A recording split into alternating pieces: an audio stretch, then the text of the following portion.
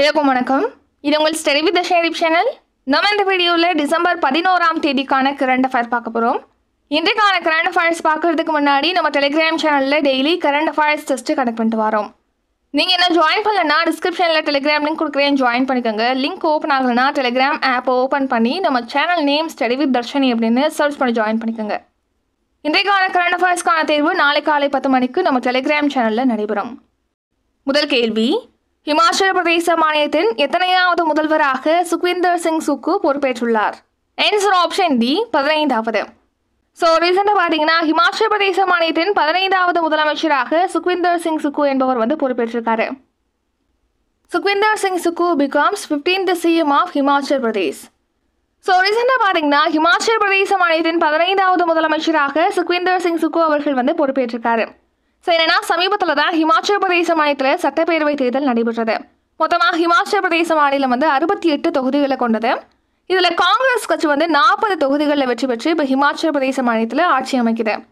அதன்படி இப்போ காங்கிரஸ் கட்சியை சேர்ந்த சுக்விந்தர் சிங் சுக்கு அவர்கள் வந்து ஹிமாச்சல பிரதேச மாநிலத்தின் புதிய முதலமைச்சராக பொறுப்பேற்றிருக்காரு.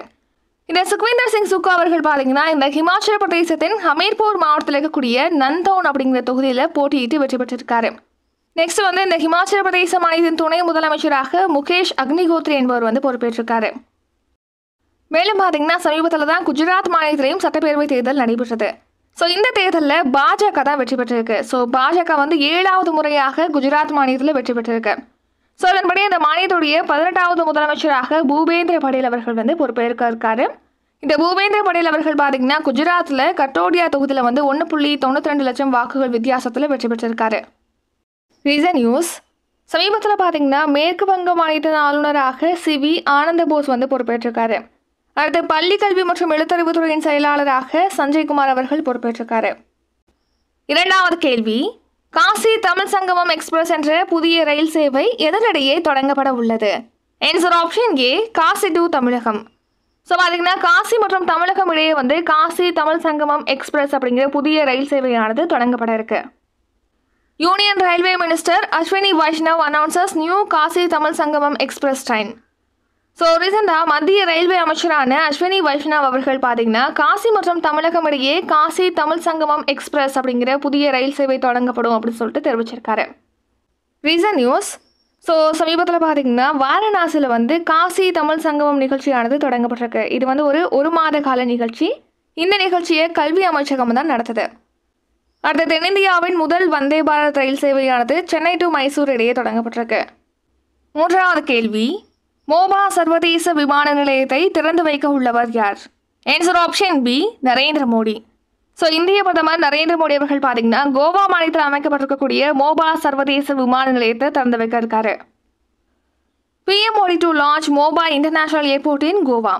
So பார்த்தீங்கன்னா கோவாவில் வந்து மோபா சர்வதேச விமான நிலையமானது அமைக்கப்பட்டிருக்கு. இந்த விமான நிலையத்தை இந்திய பிரதமர் நரேந்திர மோடி அவர்கள் திறந்து வைக்க இருக்காரு. மேலும் இதுக்கு ரெண்டாயிரத்தி பதினாறாம் ஆண்டு தான் அடிக்கல் நாட்டப்பட்டது. நெக்ஸ்ட் வந்து பிரதமர் மோடி அவர்கள் வந்து ரெண்டாயிரத்தி பதினான்காம் ஆண்டு பிரதமராக பொறுப்பேற்கும் போது அப்போ நம்ம இந்தியாவில் செயல்பாட்டில் எழுபத்தி நான்கு ஏர்போர்ட் இருந்தது. இப்போ இந்த மோபா சர்வதேச விமான நிலையத்தோட சேர்த்து இந்தியாவில் இருக்கக்கூடிய ஏர்போர்ட் எண்ணிக்கையானது நூற்றி நாற்பதாக அதிகரிச்சிருக்கு. நெக்ஸ்ட் மகாராஷ்டிரா மாநிலத்தின் இரண்டாவது தலைநகரான நாகபூரில் வந்து பல்வேறு திட்டங்களையும் பிரதமர் மோடி அவர்கள் வந்து தொடங்கி வைக்க இருக்காரு. அது என்னென்ன அப்படின்னு சொல்லிட்டு பார்க்கலாம். ஃபர்ஸ்ட் பார்த்தீங்கன்னா நாகபுரி டு பிலாஸ்பூர் இடையிலான வந்தே பாரத் ரயில் சேவையை தொடங்கி வைக்க இருக்காரு. நெக்ஸ்ட் நாகபுரி டு ஷீரடி இடையிலான முதற்கட்ட மெட்ரோ சேவையும் தொடங்கி வைக்க இருக்காரு.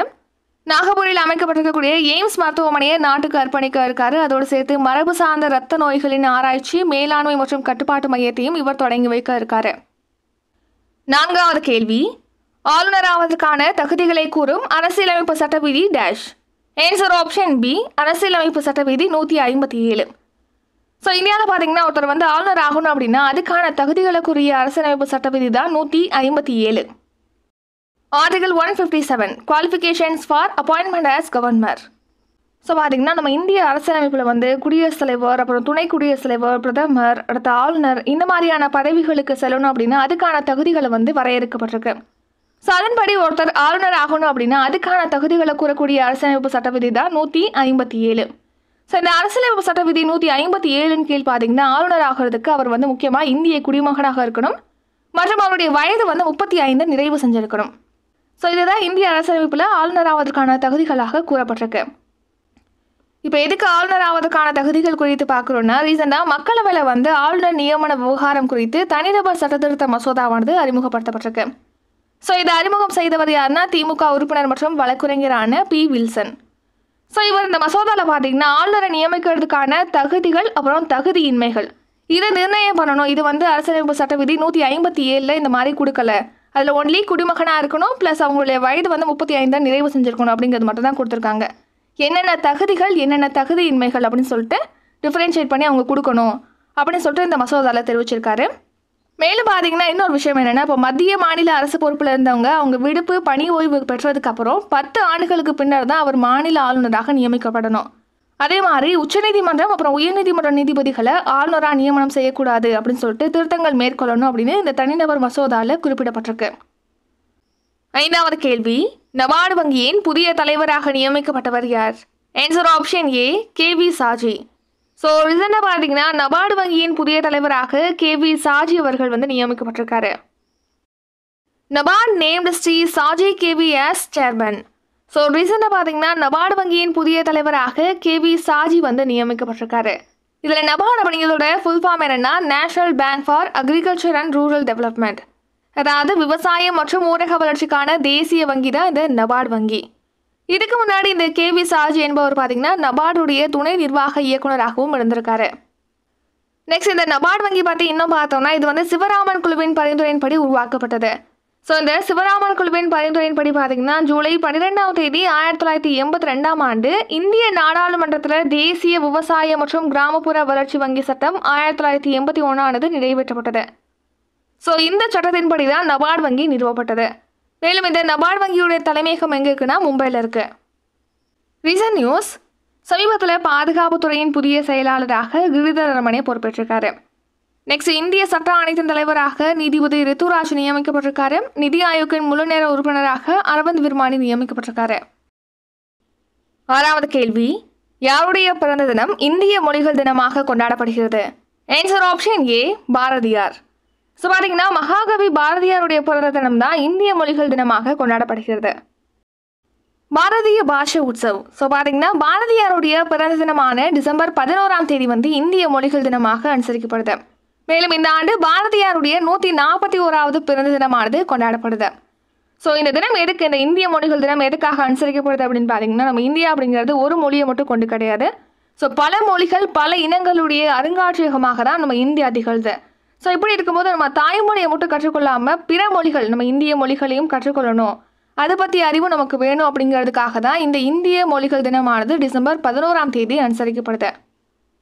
ஏழாவது கேள்வி. ஐநா பாதுகாப்பு கவுன்சிலின் உறுப்பு நாடுகளின் எண்ணிக்கை டேஷ் ஆன்சர் ஆப்ஷன் ஏ பதினைந்து. ஸோ ஐநா பாதுகாப்பு கவுன்சில் பார்த்தீங்கன்னா மொத்தமாக பதினைந்து உறுப்பு நாடுகளை கொண்டிருக்கு. யூஎன் செக்யூரிட்டி கவுன்சில் அதாவது ஐநா பாதுகாப்பு கவுன்சில். இந்த ஐநா பாதுகாப்பு கவுன்சில் அப்படிங்கிறது ஐக்கிய நாடுகள் சபையுடைய ஆறு முக்கிய உறுப்புகளில் ஒன்று இதில் பார்த்தீங்கன்னா மொத்தமாக பதினைந்து உறுப்பு நாடுகள் இருக்கும் இதில் ஐந்து வந்து நிரந்தர உறுப்பு நாடுகள் பத்து வந்து நிரந்தரமற்ற உறுப்பு நாடுகள். ஸோ அந்த பத்து நிரந்தரமற்ற உறுப்பு நாடுகளில் நம்ம இந்தியாவும் ஒன்று நெக்ஸ்ட் ஹெட் குவார்ட்டர் இந்த ஐநா பாதுகாப்பு கவுன்சிலுடைய தலைமையகம் எங்கே இருக்குன்னா அமெரிக்காவின் நியூயார்க்கில் இருக்கு. இது எப்போ தொடங்கப்பட்டதுன்னா ஆயிரத்தி தொள்ளாயிரத்தி நாற்பத்தி ஐந்தாம் ஆண்டு அக்டோபர் இருபத்தி நான்காம் தேதி தொடங்கப்பட்டது. ஸோ இப்போ எதுக்கு ஐநா பாதுகாப்பு கவுன்சிலை பற்றி பார்க்குறோன்னா இந்த பாதுகாப்பு கவுன்சிலில் ரீசெண்டாக ஒரு தீர்மானம் கொண்டு வந்திருக்காங்க. அந்த தீர்மானத்துக்கு நம்ம இந்தியா புறக்கணிப்பு தெரிவிச்சிருக்கு. ஸோ அதான் பார்க்குறோம். கவனிங்க. பயங்கரவாத குழுக்கள் மீது ஐநா பாதுகாப்பு கவுன்சில் பார்த்தீங்கன்னா பொருளாதார தடைகளை விதித்திருக்கு. ஆனால் இப்போது இந்த பொருளாதார தடைகளை வந்து மனிதாபிமான அடிப்படையில் உதவிகளை வழங்கும் போது அதுக்கு விலக்கு அளிக்கலாம் அப்படிங்கிறதுக்கான தீர்மானம் கொண்டு வரப்பட்டிருக்கு இந்த கவுன்சிலில் ஸோ இந்த தீர்மானத்தை தாக்கல் செய்த நாடுகள் எது அப்படின்னு பார்த்தீங்கன்னா அமெரிக்காவும் அயர்லாந்தும் இணைந்து தான் இந்த தீர்மானத்தை தாக்கல் செஞ்சுருக்காங்க. இதுக்கு மொத்தமாக உள்ள பதினைந்து உறுப்பு நாடுகளில் நம்ம இந்தியாவை தவிர மற்ற எல்லா நாடுகளும் ஆதரவு தெரிவிச்சிருக்கு. நம்ம இந்தியா மட்டும் புறக்கணிப்பு தெரிவிச்சிருக்கு. எட்டாவது கேள்வி. இந்திய ஒலிம்பிக் சங்கத்தின் முதல் பெண் தலைவராக தேர்ந்தெடுக்கப்பட்டவர் யார்? ஆன்சர் ஆப்ஷன் ஏ பிடி உஷா. ஸோ ரிசெண்டாக பார்த்தீங்கன்னா இந்தியாவின் முன்னாள் தடகள வீராங்கனையான பிடி உஷா வந்து இந்திய ஒலிம்பிக் சங்கத்தின் முதல் பெண் தலைவராக தேர்ந்தெடுக்கப்பட்டிருக்காங்க.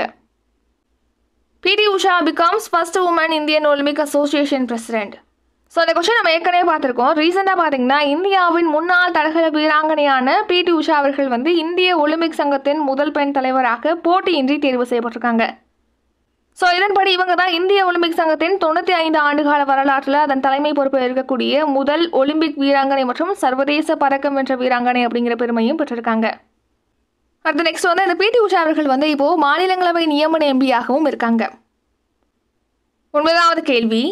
சர்வதேச மலைகள் தினம் எந்த நாளில் அனுசரிக்கப்படுகிறது? ஆன்சர் ஆப்ஷன் டி டிசம்பர் பதினொன்று ஸோ ஒவ்வொரு ஆண்டும் சர்வதேச மலைகள் தினம் டிசம்பர் பதினோராம் தேதி அனுசரிக்கப்படுகிறது. இன்டர்நேஷ்னல் மவுண்டைன் டே சர்வதேச மலைகள் தினம். இந்த தினம் பார்த்தீங்கன்னா ஒவ்வொரு ஆண்டும் டிசம்பர் பதினோராம் தேதி மலைகளுடைய முக்கியத்துவம் குறித்த விழிப்புணர்வை மக்களிடையே ஏற்படுத்துவதற்காக அனுசரிக்கப்படுது. இந்த ஆண்டு இந்த தினத்திற்கான தீம் என்னன்னா உமன் மூவ் மவுண்டைன்ஸ் தமிழில் வந்து பெண்கள் மலைகளை நகர்த்துகிறார்கள் அப்படிங்கிறதா கருப்பொருள். ஃபர்ஸ்ட் ஃபர்ஸ்ட் இந்த சர்வதேச மலைகள் தினம் எப்போ அனுசரிக்கப்பட்டது அப்படின்னா ரெண்டாயிரத்தி மூன்றாம் ஆண்டு டிசம்பர் பதினோராம் தேதி. ஷார்ட் நியூஸ் ஸோ பார்த்தீங்கன்னா ரீசெண்டாக தாய்லாந்தில் நடைபெற்ற ரெக்கேட்டா போட்டி அதாவது துடுப்பு படகு போட்டியில் ஓப்பன் ஸ்கிப் பிரிவில் இந்தியாவின் ஆனந்தி நந்தன் சந்தாவர்கள் வந்து தங்கப்பதக்கம் வச்சுருக்காங்க அடுத்து இந்தோனேஷியாவில் நடைபெற்ற ஜூனியர் உலக உஷு சாம்பியன்ஷிப் போட்டியில் பார்த்தீங்கன்னா இந்திய அணி வந்து மூன்று தங்கம் மூன்று வெள்ளி ரெண்டு வெண்கலம் அப்படின்னு சொல்லிட்டு இது வரைக்கும் இல்லாமல் எட்டு பதக்கங்களை வென்றிருக்கு. அடுத்து பார்த்தீங்கன்னா நம்ம யூடியூப் சேனல்லேருந்து ஒவ்வொரு மந்த்துக்கும் மந்த்லி கரண்ட் அஃபேர்ஸ் பிடிஎஃப் வந்து ப்ரொவைட் பண்ணுறோம் ஸோ டிஸ்கிரிப்ஷனில் ஒவ்வொரு மந்த்துக்கான ப்ரைஸ் அமௌண்ட் டீட்டெயில்ஸ் வந்து கொடுத்துருக்கோம். உங்களுக்கு எந்த மந்த் வேணுமோ அந்த மந்த்துக்கு டிஸ்கிரிப்ஷனில் இருக்கக்கூடிய Google Pay PhonePe Paytm UPI எண்களை பயன்படுத்தி இந்த ப்ரைஸ் அமௌண்ட்டை வந்து செலுத்திட்டு அதற்கான ஸ்க்ரீன்ஷாட்டை டிஸ்கிரிப்ஷனில் இருக்கக்கூடிய வாட்ஸ்அப் நம்பருக்கு சென்ட் பண்ணுங்கள் சென்ட் பண்ணிட்டீங்கன்னா உங்களுக்கான மந்த்லி கரண்ட் அஃபேர்ஸ் பிடிஎஃபை நாங்கள் சென்ட் பண்ணிடுவோம். இன்றைக்கு பார்த்த கரண்ட் அஃபேர் கேள்விகளுக்கான ரிவிஷன் பார்க்கலாம். முதல் கேள்வி இமாச்சல பிரதேச மாநிலத்தின் எத்தனையாவது முதல்வராக சுகேந்தர் சிங் சுக்கு பொறுப்பேற்றுள்ளார்? ஆன்சர் ஆப்ஷன் டி பதினைந்தாவது. இரண்டாவது கேள்வி காசி தமிழ் சங்கமம் எக்ஸ்பிரஸ் என்ற புதிய ரயில் சேவை எதனிடையே தொடங்கப்பட உள்ளது? Answer option A Kashi to Tamilagam. மூன்றாவது கேள்வி மோபா சர்வதேச விமான நிலையத்தை திறந்து வைக்க உள்ளவர் யார்? Answer option B Narendra Modi. நான்காவது கேள்வி ஆளுநர் ஆவதற்கான தகுதிகளை கூறும் அரசியலமைப்பு சட்ட விதி டேஷ் ஏன்சர் ஆப்ஷன் பி அரசியலமைப்பு சட்ட விதி நூற்றி ஐம்பத்தி ஏழு. ஐந்தாவது கேள்வி நபார்டு வங்கியின் புதிய தலைவராக நியமிக்கப்பட்டவர் யார்? Answer option A K V Saji. ஆறாவது கேள்வி யாருடைய பிறந்த தினம் இந்திய மொழிகள் தினமாக கொண்டாடப்படுகிறது? Answer option A Bharathiyar. ஏழாவது கேள்வி ஐநா பாதுகாப்பு கவுன்சிலின் உறுப்பு நாடுகளின் எண்ணிக்கை டேஷ். ஆன்சர் ஆப்ஷன் ஏ பதினைந்து. எட்டாவது கேள்வி. இந்திய ஒலிம்பிக் சங்கத்தின் முதல் பெண் தலைவராக தேர்ந்தெடுக்கப்பட்டவர் யார்?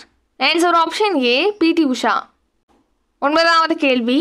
சர்வதேச மலைகள் தினம் எந்த நாளில் அனுசரிக்கப்படுகிறது? ஆன்சர் ஆப்ஷன் டி டிசம்பர் பதினொன்று இத்துடன் இன்றைக்கான கரண்ட் அஃபேர்ஸ் வீடியோ நிறைவடைகிறது. இந்த வீடியோ உங்களுக்கு பிடிச்சிருந்தா லைக் பண்ணுங்கள் ஷேர் பண்ணுங்கள் நம்ம சேனலில் நீங்கள் இன்னும் சப்ஸ்கிரைப் பண்ணலன்னா மறக்காமல் சப்ஸ்கிரைப் பண்ணிக்கோங்க. நன்றி வணக்கம்.